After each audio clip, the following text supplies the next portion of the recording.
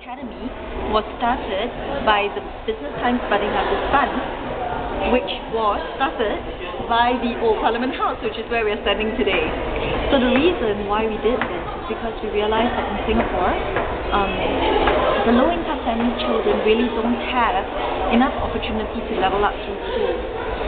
So we wanted to give them the art so that they have something extra, so that they can compete with people who are in uh, middle class backgrounds or you know like um, uh, high income backgrounds who have a lot of enrichment classes before they even step into primary one.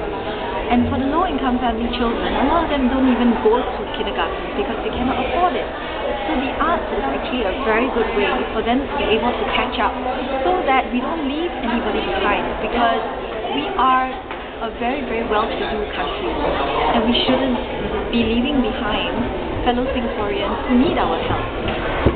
Art is our way of intervening and trying to make sure that low-income family children who are very, very passionate and interested about art have some way to develop that interest, get professional training from the best artists possible, and find a way with it. So we don't just do art, we also do dance, music, visual art, So what's what's the future after this? Oh, uh, where do I start? well, we are three years old at a school, but the fun, the Business Times Budding Artist Fund is six years old.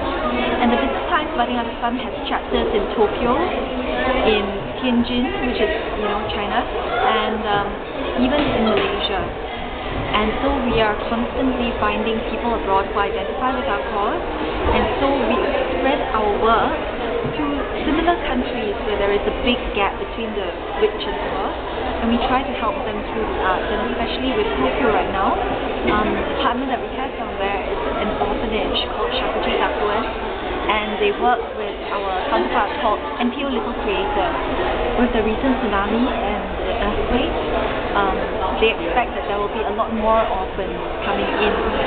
So our next project is actually working with them to raise funds for the children of the tsunami and to support the orphans that will be coming to the orphanage.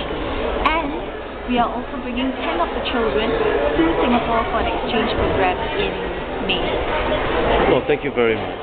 We hope to see you more often then. Thank you.